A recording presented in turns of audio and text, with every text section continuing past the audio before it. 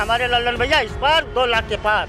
लल्लन भैया विकास कर रहे हैं युवा है हमारे साथी हैं। गैस सिलेंडर जो दीन है तो जिसके पास पैसा नहीं तो का उसे वहीं भरा ले? है हर चीज़ महँगाई है किसान के यार गल्ला जो है हज़ार रुपये में लीन जा रहा। और सब कह रहे हैं कि हम गल्ला बांट रहे हैं इनका थोड़ा किसान क्या रहा? है नमस्कार स्वागत है। आप देख रहे हैं जेएमडी न्यूज़। मैं हूँ आपके साथ आकांक्षा सिंह। आज हम बात करेंगे चुनावी जो सिरगर्मी चल रही है उत्तर प्रदेश में जो चुनावी सिरगर्मी है उसको लेकर के यहाँ की जनता से बात करेंगे और जानेंगे कि उत्तर प्रदेश में किसकी सरकार बनने वाली है और लखनऊ के बीकेटी 169 में किसका झंडा लहराने वाला है। तो हमारे साथ यहाँ कुछ लोग मौजूद है उनसे बात करते हैं और जानते हैं। भैया आपका नाम क्या है? विकास मिश्रा। क्या करते हैं आप? गाड़ी चलाते हैं। गाड़ी चलाते हैं। यहाँ आप क्या कर रहे हैं? यहाँ खड़े हैं इस समय। तो ये बताइए हमको कि आप किन मुद्दों पर वोट देने वाले हैं? 2022 का विधानसभा चुनाव है लखनऊ में है 22 तारीख को है तेईस तारीख को तो आप किन मुद्दों पर वोट देने वाले हैं? लल्लन भैया विकास कर रहे हैं युवा हैं हमारे साथी हैं उन इसलिए हम उनको वोट करेंगे। मतलब कांग्रेस को वोट हाँ कांग्रेस को वोट आपका मुद्दा क्या रहेगा? मुद्दा का रोज़गार बेरोजगार हैं हम उनसे रोज़गार मिलेगा। भाई विधायक यहाँ रहे भी के टी अविनाश त्रिवेदी पाँच साल तो झांकने नहीं आए। ऐसा लगता है ख़त्म हो गए। अब जीवन नहीं है उनके लिए। कहाँ के रहने वाले हैं आप? हम इटौंजा के रहने वाले। इटौंजा के रहने वाले हैं। इटौंजा को तो अविनाश त्रिवेदी ने गोद लिया है वो उनका गोद लिया हुआ गाँव है तो उसमें उन्होंने कुछ किया नहीं है?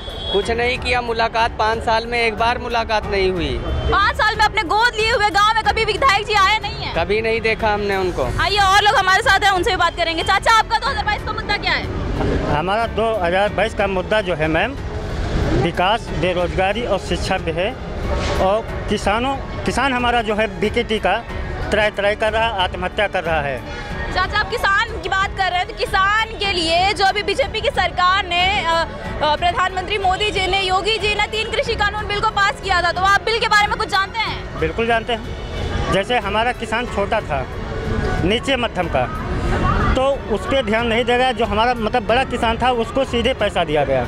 हमारा छोटा किसान जो है अनाज पैदा करता है और उसके बच्चे पढ़ने लायक जब होते हैं, अच्छे स्कूल में नहीं पढ़ पाते हैं, उन लोगों के बच्चे जो हैं पढ़ के जालो अमेरिका में घूम रहे हैं। वो आज यहाँ बीजेपी की तालियाँ बजा रहे हैं। और हमारा किसान, अभी जितना जानवर छुट्टा था, हमारे किसान भाई रात में टॉर्च लेके जा रहा था, नीचे से सांप आ गया, उसको काट लिया था। मैं ग्राम मदारीपुर में राजभान सिंह चौहान हूँ, रहता हूँ। ठीक धान का खेत था। तब हमारे ये अविनाश त्रिवेदी कभी झांकने नहीं आए मदारीपुर में। और हमको हाथ उठा के बता दे कभी विकास किया हो बीकेटी में तो हाथ उठा के दिखा दे। इसीलिए जीते हुए विधायक थे अविनाश त्रिवेदी। योगेश शुक्ला को टिकट दिया गया जब प्रधानी नहीं जीत पाए तो विधायकी क्या जीतेंगे? हमारे लल्लन भैया इस बार दो लाख के पार। तो आपका मुद्दा मतलब बेरोजगारी शिक्षा और विकास है। जी।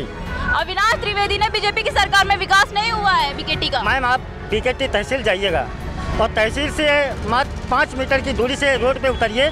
इतने गड्ढे हैं रोज एक्सीडेंट होते हैं तहसील के सामने गाड़ियाँ लग जाती हैं हमारे इंटर कॉलेज की लड़कियाँ पढ़ने जाती हैं एक्सीडेंट होते हैं। जिम्मेदार कौन है? बीजेपी है या उसका विधायक है? गाँव में आप, आप किस, आप किसको जिम्मेदार मानते हैं? विधायक जी को मानते हैं कि सरकार को मानते हैं केंद्र और राज्य की सरकार को मानते हैं? हम विधायक को जिम्मेदार मानते हैं। विधायक जी को जिम्मेदार मानते हैं? जी। क्या क्या संदेश देना चाहेंगे विधायक जी को? अविनाश त्रिवेदी को क्या संदेश देना चाहेंगे? ज़ीरो। नंबर कितना दे रहे हैं? ज़ीरो ज़ीरो आपका नाम क्या है? रामपाल शर्मा। क्या करते हैं आप? हम साहब खेती किसानी करते हैं। खेती किसानी करते हैं।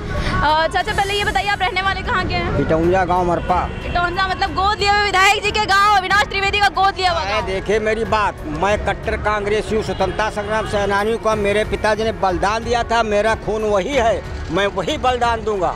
मैं हटने वाला नहीं हूँ और लल्लन कुमार को विजय बना के रहूँगा। हाँ देखिए आप देखिए मेरा काम हाँ हम दिखाएँगे हम। आप आप दिखाइए आप हाँ हमारे पिताजी का मतलब हमारे पिताजी देश आज़ादी में कांग्रेस में बलिदान दिया था। मैं उन्हीं का लड़का हूँ रामपाल शर्मा राम है ग्राम मरपा इटौंजा थाना इटौंजा जिला लखनऊ है बीकेटी तहसील है। मुद्दों पे आप वोट देंगे आपका मुद्दा क्या रहेगा? 2022 का मुद्दा मुद्दा हमारा कोई नहीं हम शुरू से कांग्रेस ही में कांग्रेस में देंगे वोट। अच्छा कांग्रेस में है वो बात तो सही है लेकिन कोई मुद्दा होगा बेरोजगारी होगा विकास होगा आखिर सरकार से परेशान कांग्रेस का कौन सा आपका काम है जो अच्छा लगता है? नो हमारी बात गैस सिलेंडर जो दीन है तो जिसके पास पैसा नहीं तो का उसे वहीं भरा ले? है हर चीज़ महँगाई है किसान के गल्ला जो है हज़ार रुपये में लीन जा रहा। और सब कह रहे हैं कि हम गल्ला बांट रहे हैं इनका थोड़ो किसान क्या रहा है? ठीक और रात रात हरा हम लोग बचाते हैं ना बचाए तो कहाँ जाए बताओ? ये हमारा मुद्दा है। मतलब आपका महँगाई बेरोजगारी मुद्दा है। हाँ।